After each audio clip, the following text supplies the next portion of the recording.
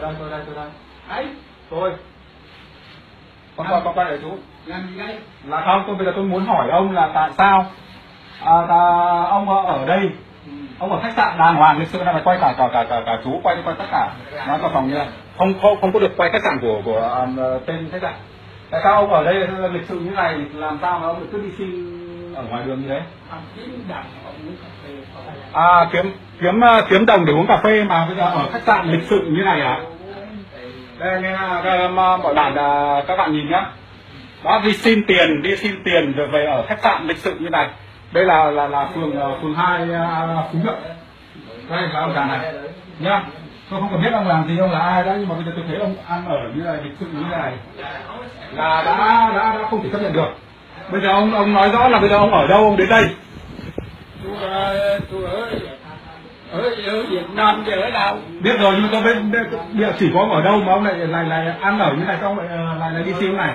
Thì ông không có tiền ông xin không có tiền mà ông lại ở khách sạn. Ông ở khách sạn lịch sự như này ông kêu không có tiền. Cái à kệ nó chứ. À ok thế là thì thì thì uh, thế là ông định ở đây là bao nhiêu lâu? Ở ba bốn tuần. Ai á năm tháng tuần ai á tức là cứ ở rồi, rồi để xin thôi. Không ông đây bây giờ. Bao giờ ông đi?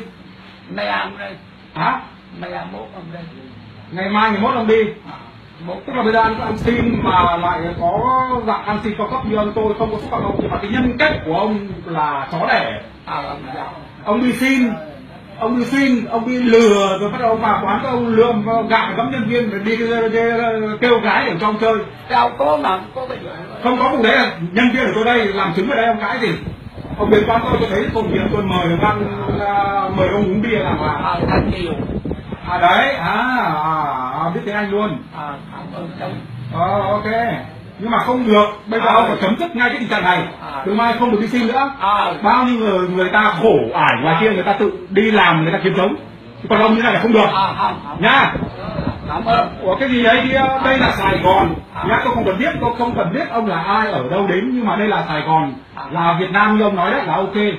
Nhưng mà không có cái cái kiểu mà ăn ăn ăn à, ăn đi ăn xin như này ăn xin ở khách sạn cao cấp như này là không có được nha ăn xin thì mà mà vali lớn vali nhỏ hai ba cái vali như này.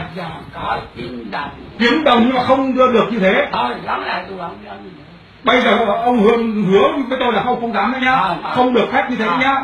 Đừng có làm ô uế đến gia đình nhà ông và con cái nhà ông ông nghe chưa? À, cảm ơn. Cảm ơn. Ông chắc chắn như thế nhá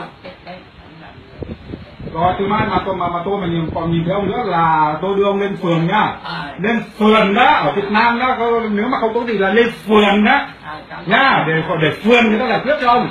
Nhá ông già thì ông sống phải nên nếp chứ để cho con cháu nó, nó, nó, nó học tập trước vào quen